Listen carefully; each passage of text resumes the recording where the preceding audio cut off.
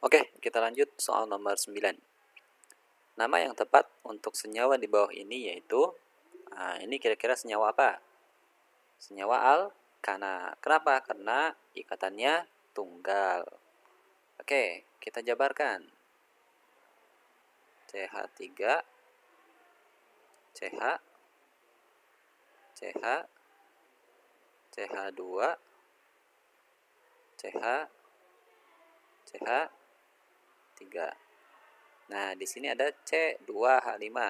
Kalau dijabarkan CH2 CH3. Di sini ada CH3. Di sini ada C2H5 dijabarkan CH2 CH3. Oke.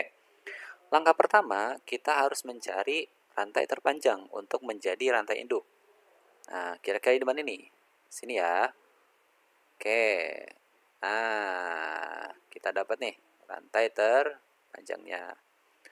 Oke, karena yang paling dekat eh, cabang dua di sini, jadi kita kasih nomor satu, dua, tiga, empat, lima, enam, tujuh, delapan. Oke. Cabangnya ada di nomor berapa saja? Nomor 3,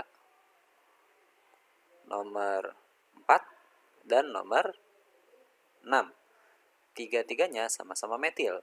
Berarti namanya 3,4,6 metilnya ada 3. Tri metil. Rantai utamanya berapa? Ada 8C oktana. Nah, jadi jawabannya 3,4,63 metil oktana C e, B